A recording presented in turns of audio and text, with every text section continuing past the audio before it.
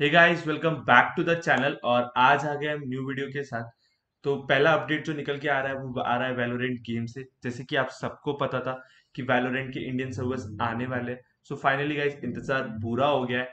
Valorant के Indian servers कल live हो चुके हैं। काफ़ी सारे स्ट्रीमर्स प्रो गेमर्स ने इस पे रिस्पॉन्ड भी किया है। आपको भी कल खेलते वक्त थर्टी के नीचे की पिंग मिली होगी। तो यस गाइस वैलोरेंट के इंडियन सर्वर्स कल लाइव हो गए बट वैलोरेंट के डेवलपर्स ने इस पे ये अपडेट दिया है कि सर्वर्स तो आ गए हैं, लेकिन वो अभी तक फुली लाइव नहीं है। वो अभी तक टेस्टिंग में वो टेस्ट कर रहे हैं स्टेबिलिटी को उनके सर्वर्स की इंडियन आई के साथ मैच करके। और कुछ टाइम में कपल ऑफ़ वीक्स में वो इस चीज़ को पूरा लाइव कर देंगे। मे बी मोस्ट प्रोबेबली ये एक्ट थ्री तक आ जाएगा। तो गाइस बस अब कुछ टाइम का इंतज़ार रह गया जब वैलोरेंट के इंडियन सर्वर्स परमानेंट हो जाएँगे। सो गाइस नेक्स्ट जो न्यूज़ निकल के आ रही है, वो आ रही है पबजी रिलेटेड जैसे कि आप सबको पता है कि पबजी को बैन हुए आज कम्प्लीटली एक मंथ हो चुका है। दो सितंबर को पबजी बैन हुआ था, आज दो अक्टूबर है। और रिसेंटली में कोई अपडेट नहीं आया था कि पबजी के अनबैन का, ये इंडियन वर्जन का, ये पबजी का जियो के टाइज के साथ। तो काफ़ी सारे प्लेयर्स जो थे, वो परेशान हो रहे थे कि पबजी वापस आएगा कि नहीं आएगा, जिसको लेके उन्होंने टी एस एम सीट से सवाल पूछे थे कि पबजी कब तक वापस आएगा या फिर कोई अपडेट दो। तो टीएसएम सेठ ने इस चीज़ पे साफ़ बताया कि वो इस पे भी उतना ही जानते हैं जितना आप सब जानते हो। उन्हें भी पहले ये लगा था कि पबजी जल्दी वापस आ जाएगा, ये सब जल्दी खत्म हो जाएगा, बट अब उन्हें लग रहा है कि इन सब चीज़ों में टाइम लगेगा। और उनको भी इतना ही पता है जितना आप सबको पता है तो वो भी वेट कर रहे हैं कि कोई इन्फॉर्मेशन आए और वो आप सबके साथ शेयर करें। सो गाइज़ अब थर्ड अपडेट जो आ रही है, वो आ रही है गेम अमंगस रिलेटेड। जैसे कि आपको पता था कि अगर आप अपडेट सेक्शन पे अभी भी क्लिक करोगे तो आपको ये पॉपअप आता है कि गेम अमंगस प्लान कर रहा है अमंगस टू लाने का।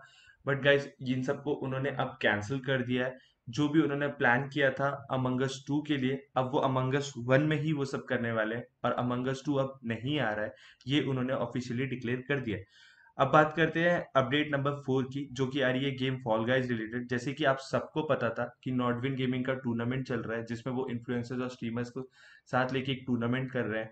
और उसके वीक टू के रिजल्ट्स आ चुके हैं, जिसपे टॉप किया है गेमर्स फ्लीट सिक वॉरियर और हाइड्रा फ्लीट ने। अब इसमें से जो टॉप सिक्स प्लेयर्स है, वो वीक थ्री में खेलेंगे, जो कि होगा सात अक्टूबर को। सो congratulation to all the winners अब गाइस नेक्स्ट अपडेट जो निकल के आ रही है, वो आ रही है एट बिट थर्ग रिलेटेड वो अपने इंस्टाग्राम पे एक गिव अवे कर रहे हैं, जिसमें वो कॉर्सेर के हेडफोन्स और कीबोर्ड को गिव अवे कर रहे हैं। अगर आपको उसमें पार्टिसिपेट करना है तो आपको लिंक डिस्क्रिप्शन में मिल जाएगा। उस पर आप क्लिक करके उनके इंस्टाग्राम पे जा सकते हो और गिव अवे में पार्टिसिपेट कर सकते हो। कैसे नेक्स्ट जो न्यूज़ निकल के आ रही है, वो फ़िलहाल अभी एक न्यूज़ ही है बट ये आपको फ्यूचर में इफ़ेक्ट कर सकती है। जो इंडियन जाइंट्स है like Paytm ShareChat MakeMyTrip और भी बहुत सारे इंडियन स्टार्टअप्स उनके जो सीईओज है, उन्होंने डिसाइड किया है, एक अलायंस फॉर्म करने का।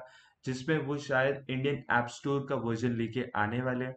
जैसे कि आप सबको पता है, फ़िलहाल गूगल ऐप स्टोर और एप्पल ऐप स्टोर है। वैसे ही इंडियन ऐप स्टोर लाने का डिसाइड कर रही है बहुत सारे इंडियन टेक जाइंट्स बिकॉज़ ये फैसला उन्होंने किया जब गूगल ने न्यू पेमेंट पॉलिसीज़ लेके आए, जिसमें उनकी न्यू पेमेंट पॉलिसी में उन्होंने ये बताया है कि अब डेवलपर्स को थर्टी परसेंट देना पड़ेगा हर इन ऐप परचेजेस का एज अ टैक्स तो गाइस ये थी आज की डेली गेमिंग न्यूज़ और अपडेट्स अगर वीडियो पसंद आए तो please make sure to like share and subscribe and thank you for watching bye bye